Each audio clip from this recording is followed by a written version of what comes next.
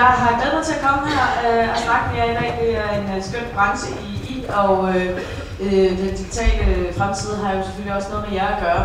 Og jeg er blevet bedt om at tale sådan helikopteragtigt overordnet, så jeg kommer ikke til at gå ned specifikt på det, I sidder med, men det, jeg taler om, er relevant for jer, ligesom det er for så mange andre. Øh, jeg arbejder som rigtig nok, øh, jeg er sikker på, at den der hænger sammen, øh, præsenteret her i starten, øh, mange forskellige øh, områder inden for samme paraply, som er digitale trends. Øh, jeg øh, har den, det udgangspunkt, at jeg kigger på forholdet mellem teknologi og mennesker. Og så laver jeg en hel masse ting ud fra det. Jeg laver radioprogrammet, jeg laver rådgivning, øh, og vi laver også produkter i, øh, i den virksomhed, som jeg driver. Øh, men jeg er meget, meget begejstret for teknologi. Øh, og jeg har det sådan med teknologi, at det skal faktisk helst ikke ses så meget. Øh, det skal hjælpe os, det skal gøre en forskel i vores hverdag, men det handler først og fremmest om os mennesker, om os brugere og hvordan vi har det med teknologien. Så derfor kan jeg godt lide det her citat, at teknologi det er et ord, der beskriver noget, der ikke virker endnu. Og der kender I jo nok det der med, at I kommer I hjem øh, efter en lang arbejdsdag og går ind i jeres øh, lejlighed eller hus og tænder for lyset. Så det er jo ikke sådan, at I står og jubler over den teknologiske, øh, de teknologiske vidunder, der er i jeres stue eller jeres gang. Øh, for I tager det her lys for givet, og skulle det en dag ikke lige tænde, jamen, så kan I godt finde ud af at skifte pære, og så er der ikke så meget mere i det. Det er en ret usynlig øh, teknologi, og derfor for, for, for jer, så er det noget, I tager for givet. Og, øh, og det vil jeg jo gerne have, at vi kan gøre med teknologi. Jeg vil jo gerne have, at vi kan tage den for givet, og derfor, når den virker, jamen, så lægger vi ikke mærke til den. Så øh, I kender måske nok det her, som øh, er sket for mig her øh, i sidste uge, da jeg skulle ind på skat. Øh, det der med, at man skal lave noget med teknologi, og så får man bare kastet op i hovedet, at det her er altså teknologi, du har med at gøre. Altså, øh, det teknologiske beskaffenhed af det her produkt bliver temmelig synligt for mig, der jeg sidder på skat. Jeg skal bare tjekke noget moms, jeg skal selvfølgelig ikke ind og se deres kode, øh, men der er jo et eller andet baks med skat.dk lige på det her tidspunkt. Så det er det der, jeg møder, og så bliver jeg allerede træt. Det er hårdt nok at skulle ind på skat.dk, men altså, når man så også ordentligt skal møde det der. Det her, det var to på LinkedIn, hvor jeg ligesom havde lidt af den samme oplevelse der også. Det er klart, at jeg stopper jo bare op. Jeg overgår ikke teknologien. Jeg flytter mig. Der går måske noget tid, inden jeg kommer ind igen. Øh, så jeg kalder sådan lidt det her sådan backstage, altså teknologiens backstage. Og det har vi almindelige brugere simpelthen ikke behov for at opleve. Vi har behov for at opleve det, som beriger vores liv, og det, der gør vores liv nemmere eller sjovere i nogle tilfælde. Men vi har ikke behov for at være øh, backstage ved teknologien. Så det er selvfølgelig noget, man skal tænke over, når man også arbejder med teknologi og holde øh, forbrugeren væk fra backstage. Jeg er teknologibegejstret. Og jeg synes, vi skal tage teknologien for givet, og at den skal bare virke, og hvis den ikke gør det, så er det i hvert fald ikke vores problem. Det er teknologiens problem. Dem, der laver den, dem, der markedsfører den, dem, der sælger den, dem, der skal sørge for, at den virker. Øh, det er aldrig brugerens problem. Men jeg synes jo, det er meget godt, når jeg står heroppe og påstår en masse ting, jeg også bliver modsagt lidt af nogen, der måske ser på det på lidt anderledes måde. Og der har jeg så fundet øh, lidt en marker, jeg tager med her undervejs, og han hedder Louis C.K. Det er, øh, det er en meget, noget fin marker, han er en af øh, verdens allerbedste komikere. Så det er et meget godt sidekick at have. Men han har noget holdning til teknologien, og han synes nemlig ikke, at vi skal tage det for givet. Han synes, vi er møgforkælet. Lad os lige prøve at høre, hvad han siger. You feel that we now, in the 21st century, we take technology for granted? Well, yeah, because now we live in, a, in an amazing, amazing world, and it's wasted on the on the crappiest generation of just spoiled idiots that don't care. Because this is what people like now. They got their phone.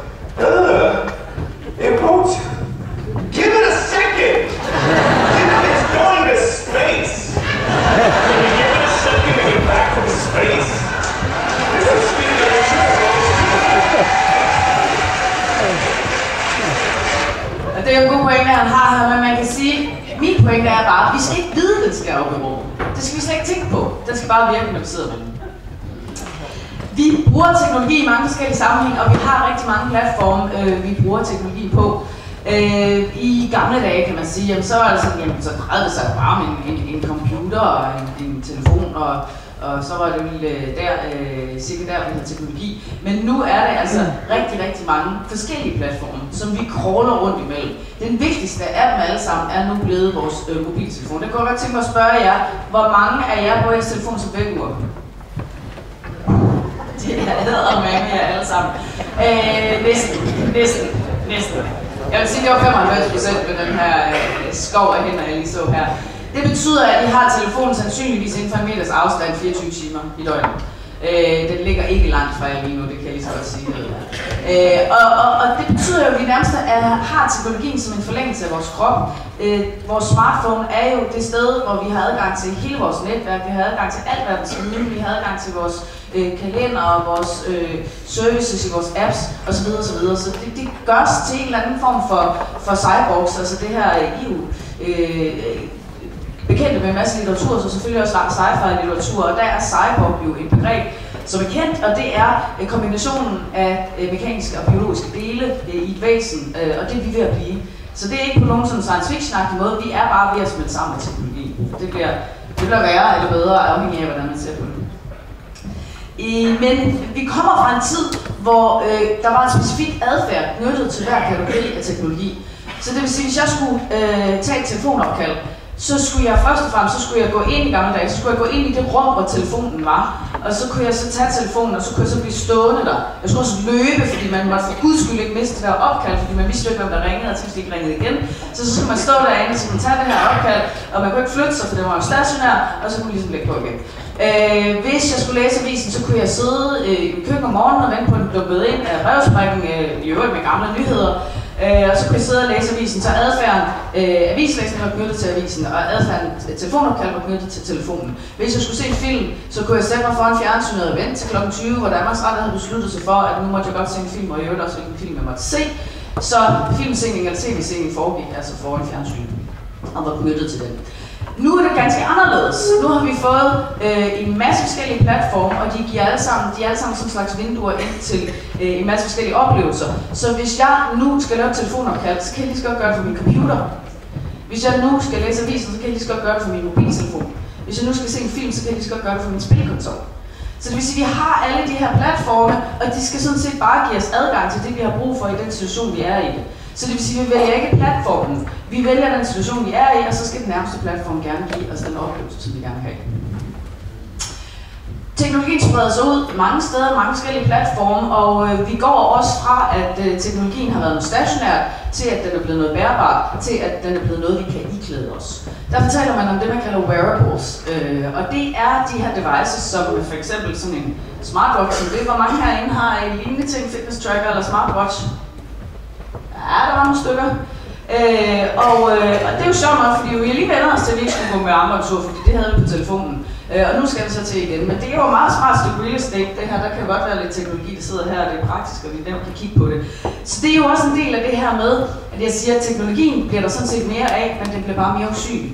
Så jeg kan godt stå heroppe, og jeg vil faktisk nu, mens jeg står og taler her, blive jeg være bevidst om, om jeg fik et telefonopkald, eller om jeg fik øh, en sms eller en besked på Messenger, selvom min telefon, eller ja, selve telefonen ligger derovre. Det vil jeg så vide her. Øh, så det vil også sige, sidder jeg til et middagsselskab, så kan jeg også bare lade telefonen ligge i et andet rum, eller ligge ned i tasken.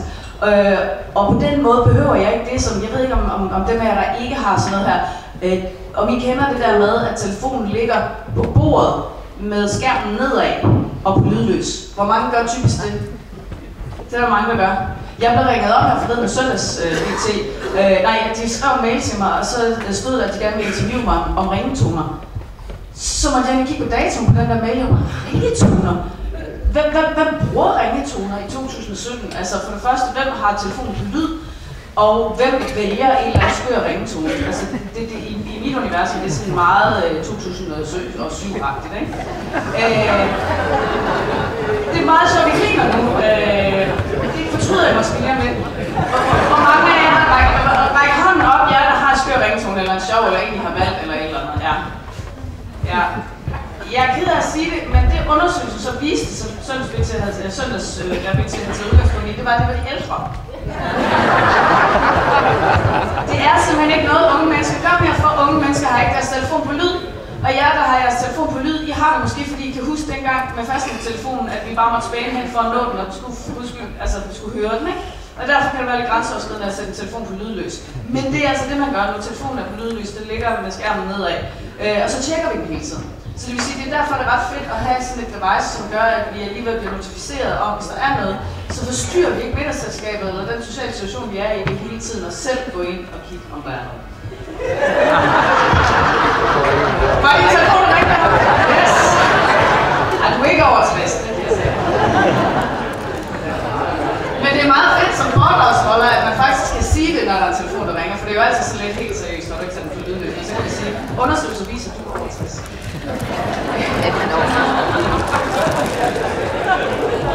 Når vi bruger de her mobile devices og har dem med os, så ændrer det også noget af vores adfærd, at, at vi simpelthen har teknologien med os.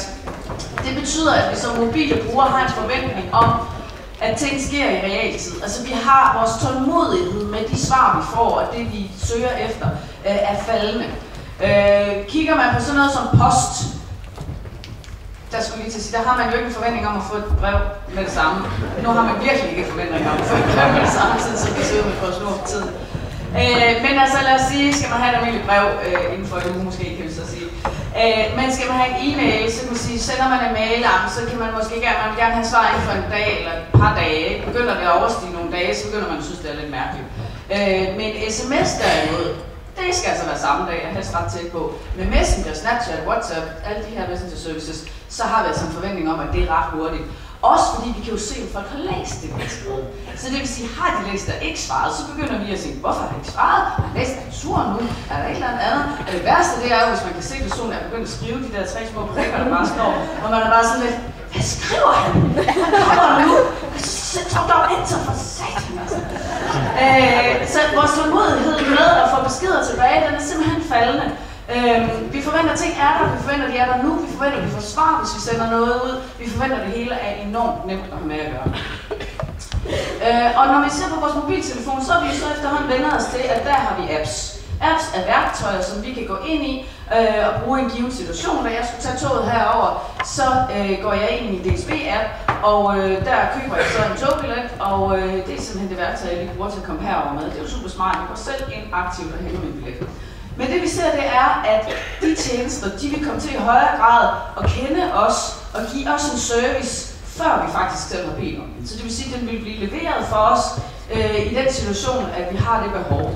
Så det vil sige, øh, at DSB-appen øh, i fremtiden vil vide, at jeg skal herover, fordi det kan den se i min kalender og i min e-mail-korrespondence og alle mulige andre ting.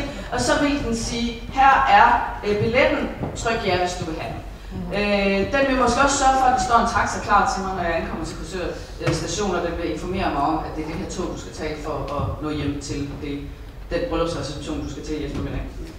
Øh, så, så det vil sige, at vi har, øh, vi har tjenester, som kigger på øh, omgivelserne, øh, og øh, ud fra omgivelserne, så simpelthen servicerer os med det, vi har brug for. Øh, det kan være, hvor vi er. Det kan være, hvem der er i nærheden. Det kan være, hvor vi lige kommer fra. Det kan være, hvad vi normalt plejer at spise. Øh, det er sådan alt mulig information, som kan være relevant i forhold til at give os nogle gode tips. Så det er klart, at vi ser, at teknologien bliver mere og mere tilpasset i forhold til mennesket, og hvad er så det næste, og kommer robotterne snart, og robotterne kommer, de er selvfølgelig allerede, men der kommer mange flere robotter. Og når man tænker på robotter, så kan man godt sige, ah, det er de der, igen de der science fiction-agtige menneskelignende væsener, som øh, kommer ind og øh, afløser os, vi kan ikke kende dem fra hinanden, og body snatchers-agtigt, og øh, sådan lidt skræmmende scenarie, men det bliver bare ikke den måde, vi kommer til at møde robotter øh, først. Altså udover de industrirobotter, som der er derude, og arme, der kan samle ting og alt sådan noget. Så den måde, vi kommer til at møde robotter på, er ikke i den her menneskelignende øh, figur. De findes derude. Det her det er Sofia, som jeg mødte øh, i november i øh, Lissabon. Øh, en, øh, et firma, der hedder Hansen Robotics, som laver de her menneskelignende robotter. Øh, og øh, og de, øh, de er selvfølgelig i gang med det her. Det, skal, det er sådan en servicerobot, som kan stå på et hotel, øh, en hotelreception og byde folk velkommen. Så selvfølgelig sker der noget med det, men det er ikke primært sådan. Robotterne er primært i en helt anden forstand, som for eksempel kunne være den her slags robotter, der på et hotel vil fragte øh, room service mad rundt. Øh, det kan være i andre sammenhænge, hvor de vil øh, være transportmidler for, for øh, et pakker og ting og sager, som skal rundt. Det kunne være det her, det er Janus Friis, som øh, har lavet Skype, øh, en dansk fyr, som jo er kendt for at lave Skype blandt andet. Han har startet en ny virksomhed i London, øh, som arbejder med de her transportrobotter, så det kommer vi til at se i gaderne, at de sådan kører rundt og fragter ting frem og tilbage. Amazon har i øh, ret lang tid arbejdet med droner, øh, så igen i forhold til det her med utålmodigheden omkring, nu har jeg lige bestilt en kjole, så skal jeg altså have den nu, så jeg kan få den på i aften. Jamen så kunne man så forestille sig, at den her drone, den flyve ud og aflevere den i min have, eller flyve med på, øh, på min altan. Øhm, når man, når man snakker robotter, så er det næste skridt selvfølgelig også at sige, hvor kloge er de robotter. Undskyld, jeg bliver simpelthen nødt til at sige, at I ikke... Jeg bliver simpelthen så distraheret, at I snakker sammen hele tiden her på vores Jeg kan ikke bare lige distrahere mig. Øh, robotter, fra robotter til kunstig intelligens, øh, der er jo ikke så langt skridt, fordi hvor, hvor kloge er de her robotter, hvor meget kan de, hvor meget mener de om os, hvor meget tænker de ligesom os. Så det er igen, kunstig intelligens ikke nødvendigvis noget, vi kommer til at se i menneskelige robot, men i den grad noget, vi kommer til at se, når vi interagerer med teknologien. Vi kommer simpelthen til at kunne chatte med teknologien, øh, snakke med den på en måde, der minder rigtig meget om den måde, vi snakker med mennesker på nu, som messaging, altså som vi kender det fra Messenger på Facebook, eller som nogle af de her andre messaging-apps, det bliver den måde, I kommer til at møde den kunstige intelligens på. Det kunne fx være kundeservice, det kunne være, når I skulle snakke med jeres bank, det kunne være, når I skulle snakke med jeres flyselskab, have noget information om, hvilken gate er der, hvad tid afgår flyet, eller forsinkelser, mit fly er aflyst, hvad gør jeg nu? Alle mulige øh, af den slags, der vil I kunne chatte med den kunstige intelligens, som ville kunne give jer super god service. Og det vil I jo kunne, fordi den i modsætning til et menneske ved alt. Den ved alt om det, der findes. Altså al information har den adgang til. Mennesket skal jo slå det op, og måske spørge sin chef, og sige, vent lige lidt, og nu skal jeg lige spørge en anden. Robotten ved hele tiden, altså den kunstige intelligens ved hele tiden øh, al den information, som vi skal bruge. Så det vil give jer en bedre service. Det kunne også være en salgssituation, hvor jeg for eksempel siger, er der en kjole i rød også, eller hvad med den her størrelse, eller hvornår kommer den hjem? Så hele den her måde, man er vant til at snakke med servicemedarbejder på, kan vi lige så godt tale med kunstig intelligens. Og det, der er lidt fedt, det er, at vi faktisk fører en samtale, som er meget menneskelignende. Fordi det er i modsætning til tidligere, hvor vi skulle gå rigtig meget ind på præmisserne for teknologien, øh, så vil teknologien nu gå ind på vores præmisser og tage vores sprog. Jeg har, øh, hvis der er nogen, der ligesom skriver til mig, en mail til mig og siger, øh, skal vi tage et møde, kan vi tage en kaffeaftale eller en frokost, og jeg synes, at det lyder spændende, og gerne høre, hvad den person har at sige, så svarer jeg tilbage, det vil jeg gerne, og så kopierer jeg min assistent på, som hedder Amy, og så siger Amy, kan du ikke lige sætte det her møde op? Og så går Amy i gang med at sætte møder op, hele den der, I kender, frem og tilbage med mail. Øh, Christiane kan, eller man, når man typisk selv sidder sådan, jeg kan tirsdag, men jeg kan ikke om eftermiddagen. Øh, skal det være kaffe? Nej, det skal være frokost. Hvor skal frokosten være? Så skal vi mødes her eller her. Øh, og så videre, så videre. Det kan man snilt bruge til 12 mails frem og tilbage på at lave den der aftale. Og det er jo noget tid, som jeg egentlig gerne vil spare, så derfor sætter min assistent til det. Men min assistent Amy er en digital assistent. Hun er kunstig intelligens, og hun fører hele den her samtale på vegne af mig. Og så booker hun mødet. Hun ved, hvad min yndlingsfrokostrestaurant er. Hun ved, hvor jeg gerne vil drikke kaffe. Hun ved, hvor jeg arbejder. Øh, og, øh, og hun ved, hvordan min kalender ser ud. Så hun kan simpelthen foretage den Men det sjove er jo så, at når folk taler med Amy, det er, at de alligevel, de ved godt, at hun kunstig intelligens forstår hendes signatur Digital Assistant to Christiane Vejle, men de siger alligevel, god weekend. Eller, øh, tak skal du have. Og, og de taler simpelthen på den måde til Amy, og de ved jo godt, det er kunstig intelligens, de taler til. Men det, jeg godt kan lide ved det, det er, at selvom vi ved, det er en robot, så opretholder vi vores menneskelighed. Hvis vi har en, en, en robot, hvis jeg har Sofia, som vi så der på billedet, stående foran mig, så kunne jeg godt sparke hende i maven og skære hovedet af hende og vælte hende. Det kunne jeg godt gøre. Det ser meget voldsomt ud. Det kunne jeg godt gøre, for det ville ikke være anderledes end at sparke til en toaster. Det er hardware. Det er maskineri. Det sker der ikke noget ved. Men vi gør det ikke, fordi vi bibeholder vores menneskelighed. Så selvom vi har står for, øh, for øh, maskinerne, så holder vi fast i vores måde at være menneske på. Og det er jeg faktisk ret fortrøstningsfuld omkring. Det tror jeg, vi bliver ved med øh, når, vi når vi taler om vores relationer til maskinerne. Og der er jo også tale om, altså simpelthen, øh, hvilke rettigheder skal robotter have? Altså, hvad, hvad må man gøre for robotter? Skal de have fagforbund? Altså, skal vi betale skat, der er der rigtig meget snak om os. Altså, så, så, så vi, der er et eller andet, hvor vi simpelthen bliver nødt til, når de skal leve sammen med os, bliver vi nødt til at bruge vores menneskelighed også. Øhm, måden at betjene teknologi på har jo rigtig mange år været meget igen på teknologiens præmisser. Vi trykker på knapper, vi drejer på ting, øh, vi skal ind og nogle gange nærmest sådan skrive noget kode og programmere for at overhovedet komme i gang.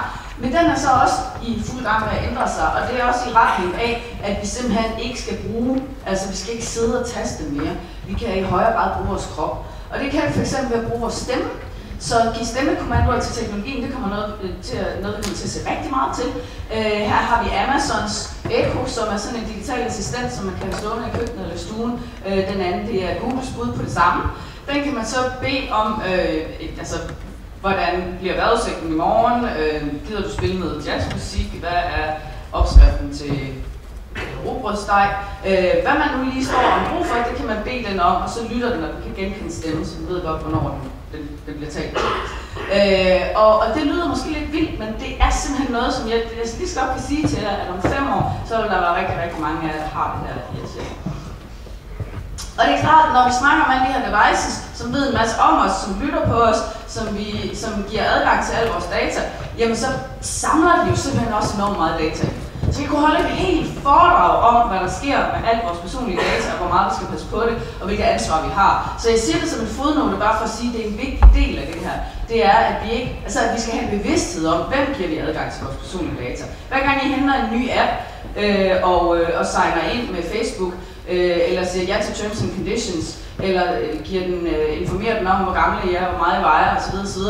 Øh, så, så, så er det information, som er, måske skal bruge til at servicere jer. En fitness-app skal måske bruge jeres vægt og højde.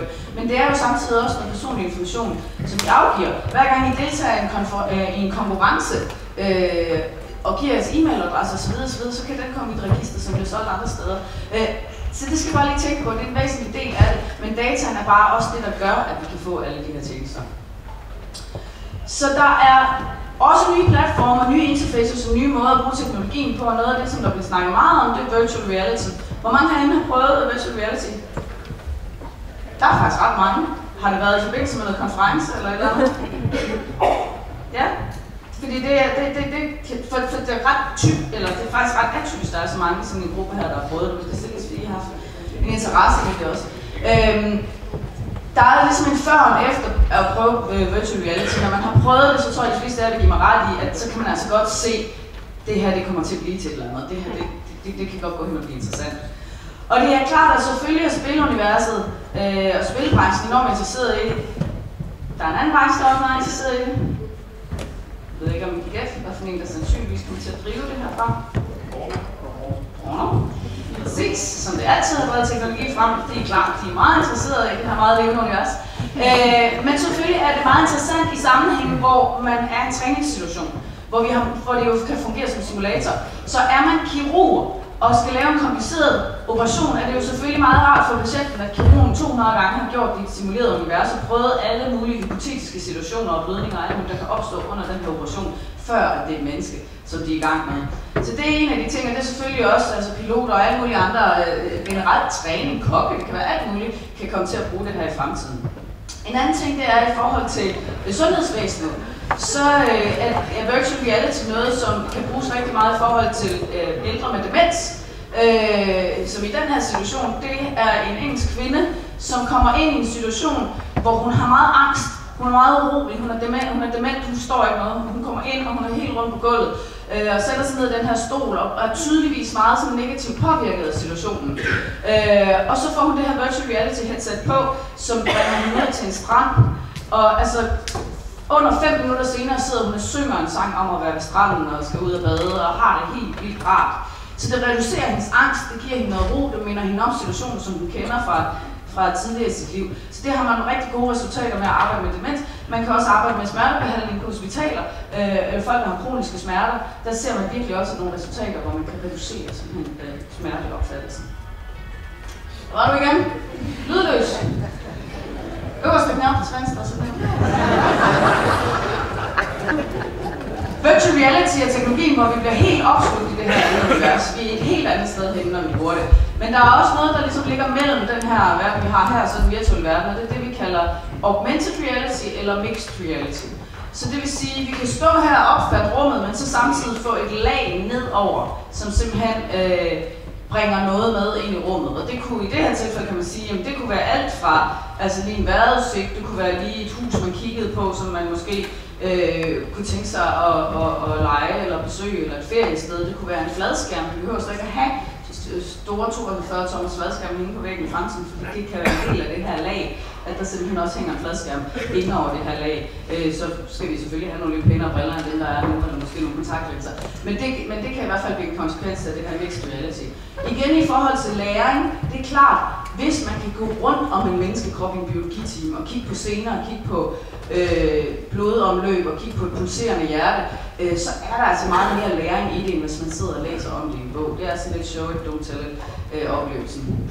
Øh, og er man en virksomhed, som man for eksempel, hvor man for eksempel har købt en masse nyt, tungt, tons, tungt udstyr, som skal ind i en lagerhal, og der er noget leveringstid på det, og når det ankommer, så skal folk lære at bruge det, så er det jo meget smart, at man kan ligesom virtuelt placere det der, hvor det skal være i lagerhallen, og også lære øh, ens medarbejdere, hvordan de egentlig skal installere det, og hvordan de skal bruge det, når det er i gang. Så så snart det kommer, så er de simpelthen klar til at, at gå i gang med at bruge det. Jeg har lige taget en lille video med af mig, som prøver noget, noget augmented, noget big mixed reality med Microsofts HoloLens. Øh, altså, jeg kan se, jeg er i gang med, med min kæmpe store faretruende våben og skyde øh, skorpioner, der kommer ud af væggene. Og jeg kan se rummet, jeg er i, fuldstændig ligesom kigge her, der kommer bare skorpioner ud af væggene. Så hvis jeg var drug dealer, så ville jeg være meget bekymret for min forretningsfremtid.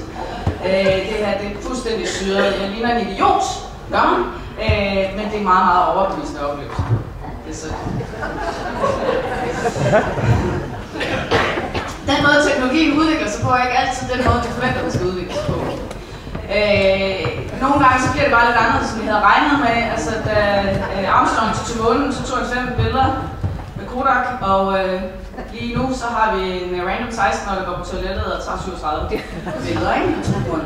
Og det kan vi jo godt grine af, jeg synes det er lidt fjollet, ikke? men det er jo bare sådan det er. Det er jo sådan det er blevet. Og det er derfor Kodak ikke findes mere, og det er derfor Instagram er en kæmpe, kæmpe stor virksomhed. Det er fordi Instagram har kigget på, hvad brugerne gerne vil gøre med kameraet. Hvad vil de? De vil altså gerne tage selfies, de vil gerne dele, de vil gerne have noget socialt, de vil gerne have nogle filtre, som så lidt lækre ud, så man kan tage billeder af leverstøj mad, og så ser den ud, som om den kommer fra Noma. Ikke?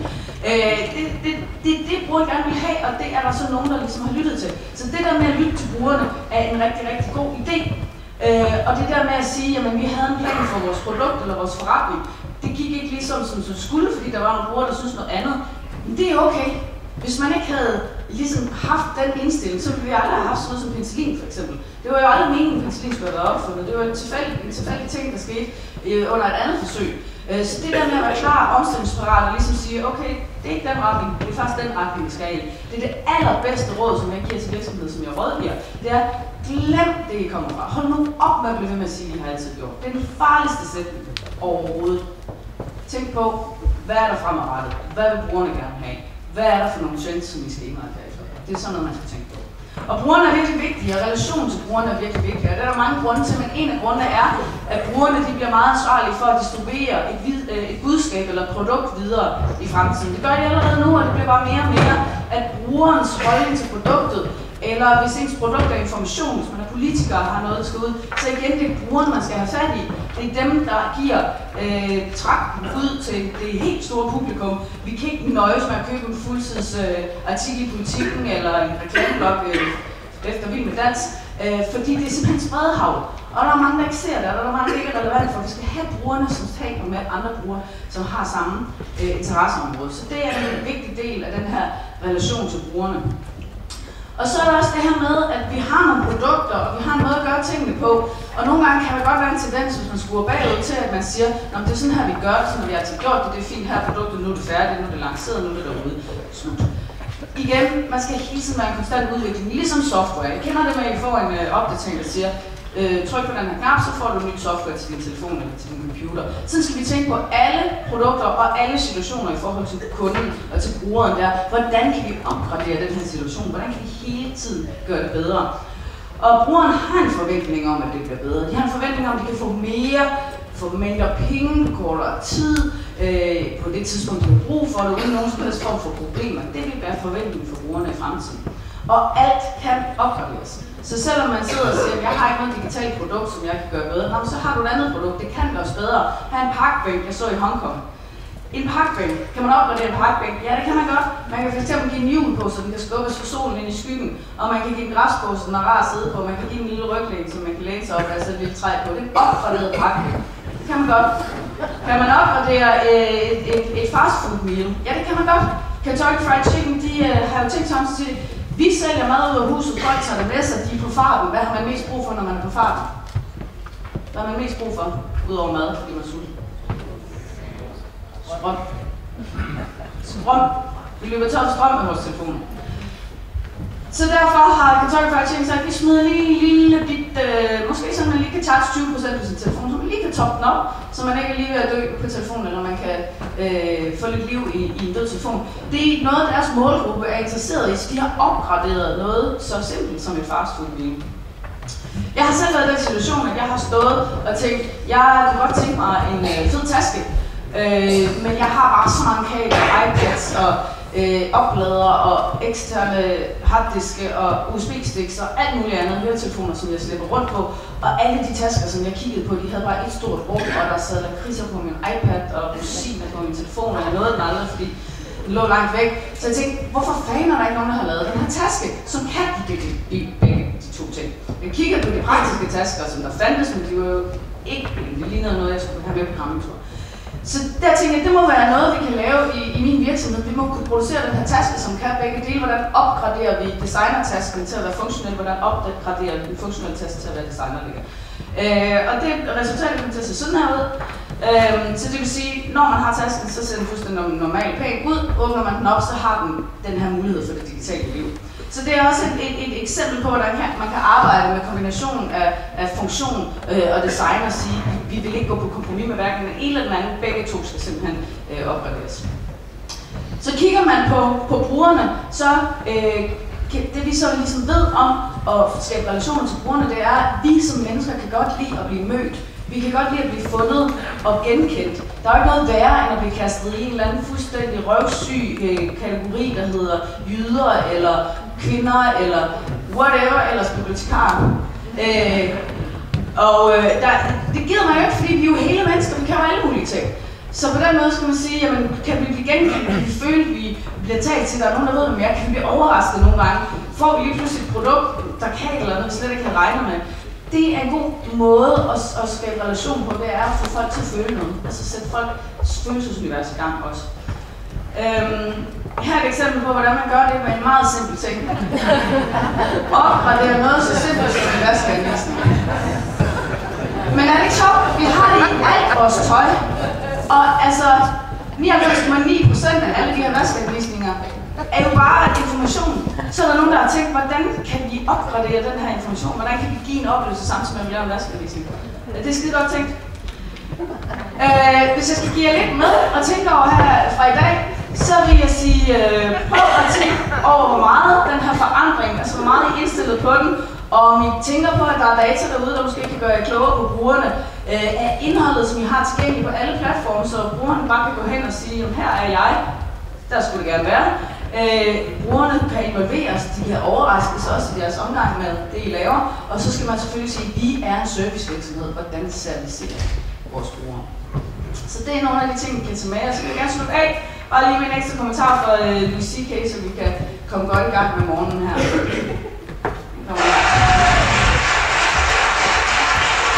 I was on a, I was on an airplane and there was internet, high-speed internet on the airplane. That's Yes. the newest thing that I know exists. And I'm sitting on the plane, they go, open up your laptop, you can go on the internet, and it's fast, and I'm watching YouTube clips. It says, I'm in an airplane.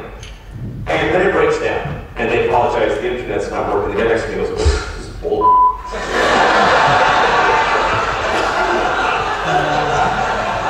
like how quickly the world owes him something. Yes. He knew existed only 10 seconds